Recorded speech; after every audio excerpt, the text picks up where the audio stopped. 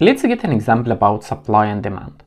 So here we have the price, one, two, three, four, five. The quantity demanded at price one, it's 10. If the price increases from one to two, quantity demanded will be lower, so it will be eight. Then we have six, four, two. Quantity supplied at price one is two. If the price increases from one to two, quantity supplied will be higher, four, and so on. Six, eight, and 10. Let's draw both supply and demand. So our y-axis will be the price, x-axis will be the quantity, and we'll put the tickers here 2, 4, 6, 8, 10. For the price, it will be 1, 2, 3, 4, 5. For the quantity demand at price of 1, we have 10 units. And then at price of 2, it's 8 units. At price of 3, 6 units. At price of 4, 4 units. At price of 5, 2 units. Let's connect all the dots together. It will give us our downward slope demand curve. Why it's downward slope? Because we have a negative relationship between price and the quantity demanded. If price goes up, quantity demanded will be lower and vice versa. Let's uh, draw the supply curve. At price of 1, quantity supplied is 2. At price of 2, quantity supplied is 4. At price of 3, quantity supplied is 6. At price of 4, quantity supplied is 8. At price of 5, quantity supplied is 10. Let's connect all the dots together. This will give us our upward supply curve. So let's look at the table first. Can you tell me where is our equilibrium point? So what do mean by equilibrium? It means that quantity demanded is equal to quantity supplied. So if you look here at the table, you discover that at price of 3, our quantity demanded is equal to quantity supplied is equal to 6. And that's why here we call it equilibrium.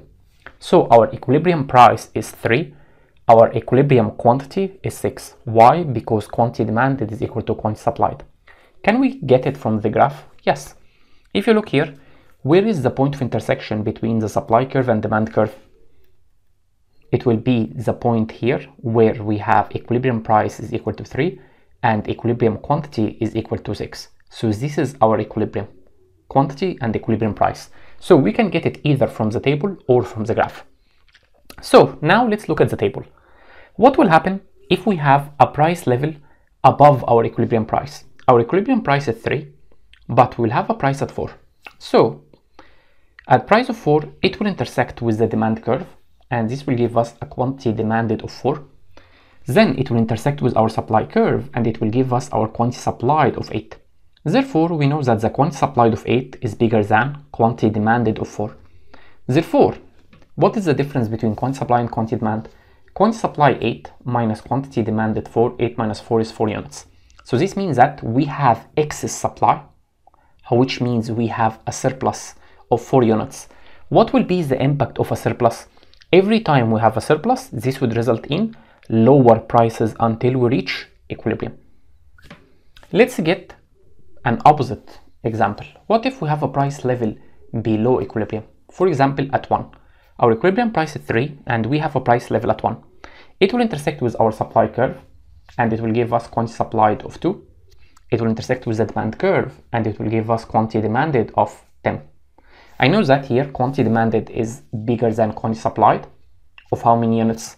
8 minus 2 is 8 units. So this means that we have excess demand of 8 units. Excess demands, it means that we have a shortage. So every time we have a shortage, what will be the impact on price? Price will go up until we reach equilibrium. And this is what we mean by free market. It means that the market will correct itself by itself. If we are away from equilibrium, such as if we have a price level above equilibrium, it means that we have a surplus or excess supply. The impact of a surplus would result in lower prices until prices reach equilibrium.